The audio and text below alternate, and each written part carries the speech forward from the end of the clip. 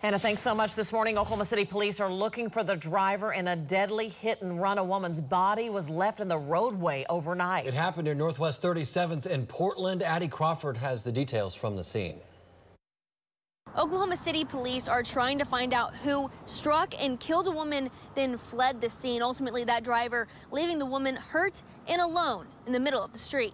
A uh, passerby witnessed a uh, female lying in the roadway, looked like she had been ran over uh, and contacted 911.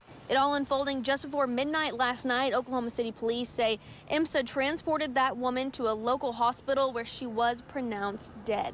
Officers tell News 9 they believe she was experiencing homelessness. Now, there are some challenges for police this morning. They do not have anyone at the moment who witnessed the hit and run actually happening, so no vehicle information at this time. Police are looking for answers, so if you know anything, please call 911. Maddie Crawford, Oklahoma's Own, News 9.